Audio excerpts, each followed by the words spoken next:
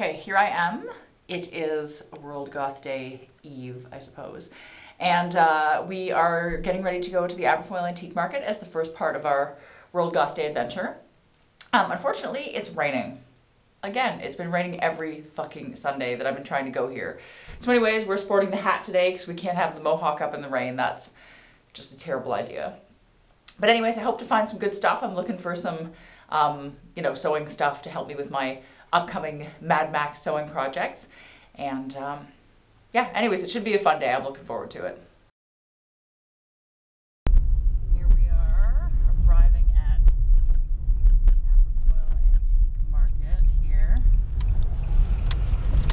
Oh, it's a little bumpy, but pretty excited even though it's fucking raining, which means half the, oh god, pothole, half the guest vendors won't be here because like a lot of this is outside so unfortunately when it rains like a lot of people don't don't show up because they don't have any coverage and there's also not as many people attending obviously when it's raining so which means we're gonna get a good parking spot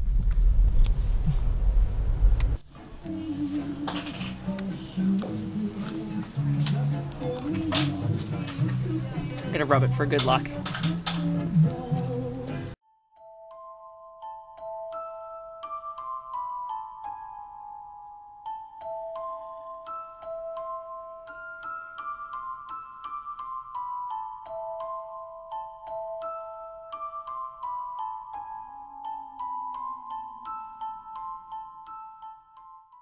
I've lost Brodie. I don't know where he is.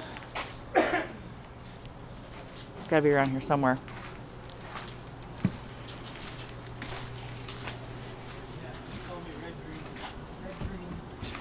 A lot of cool stuff.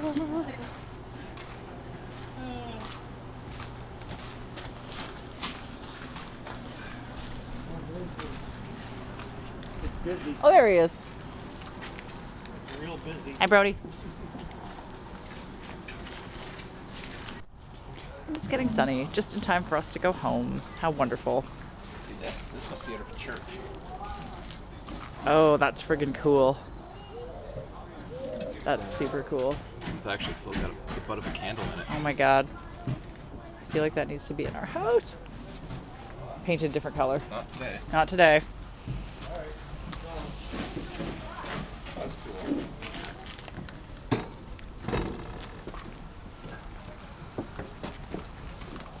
Yeah, yeah, it's getting such a hot man. Yep. Hi. Big old bathtub. Here we are, World Goth Day Home Edition. We are back from the antique market and we're just doing a small little thing at home in our black peignoir sets. And uh, we have some special goth treats. We have, I made us a bloody upside down crucifix cake to eat. It is Earl Grey tea flavored. The mannequins, of course, are in their World Goth Day finest. We have a whole bunch of candles going here, and uh, we're about to watch Bram Stoker's Dracula.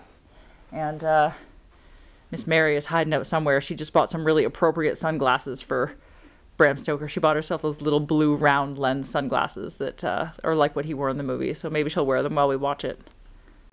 We also have two bottles of this, the dark wine. Because what other kind of wine could you possibly be serving on, on World Goth Day? You have to have the darkest red wine possible, of course, while you're watching vampire movies. It is odd, but I feel almost that my strange friend is with me. He speaks to me in my thoughts. With him I felt more alive than ever I had. And now without him, soon to be a bride, I feel confused and lost. Perhaps, though I try to be good, I am bad. Perhaps I am a bad, inconstant woman. Okay, so we're getting into our second bottle of wine here, as you can see. And uh, my glass is empty. We're drinking out of our very gothy arsenic wine glasses. And my glass is empty, so clearly, you know, we have to fix that. And uh, we're partway through Bram Stoker's Dracula. We're going to finish it and start another vampire movie. I bring you from shadow into light. I cast you out, the prince of darkness, into hell. Check it out. We have goth pasta. It's actually black pasta. I'm super excited about it. I made it into this delicious pasta that we're going to have for dinner. Yum, yum, yum.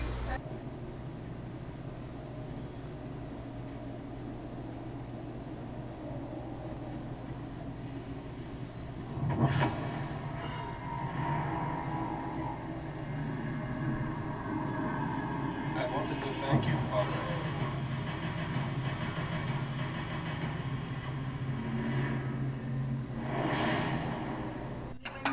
We're gonna cut into the, the goth cake here.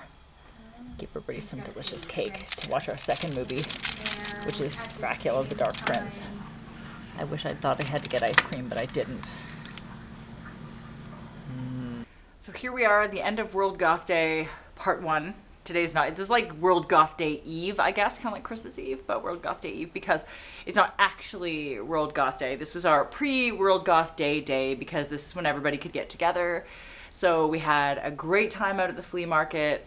We had some good cake, we had some good pasta, we had some good wine. We watched two really gothy vampire movies, which was a lot of fun. And uh, now everyone's gone home, the candles are blown out, the food is eaten, the wine is drunk. We've even cleaned up a bit, which is awesome. So, uh, yeah, we continue with part two tomorrow, which will be World Goth Day sewing. All right, welcome to sewing on World Goth Day. Um, I'm in my comfy sewing clothes. I'm just wearing my black craft thing and some pentagram leggings because when you're sewing, comfort is paramount. So fuck wearing corsets, fuck beautiful velvet dresses, not while you're sewing. And unfortunately, I'm not working on anything particularly gothy today for my, you know, goth sewing. I have to work on this pile of yellow fleece will soon become a yellow hippo costume for somebody. It's a custom yellow hungry hungry hippo costume that I'm making for somebody. And I am also working on what is in this bag. This is going to be a white, uh, the classic uh, seven year itch Marilyn Monroe dress for a lady. That's going to be her wedding dress. Um, and then I'm working on a 50s dress that I have to take in for somebody.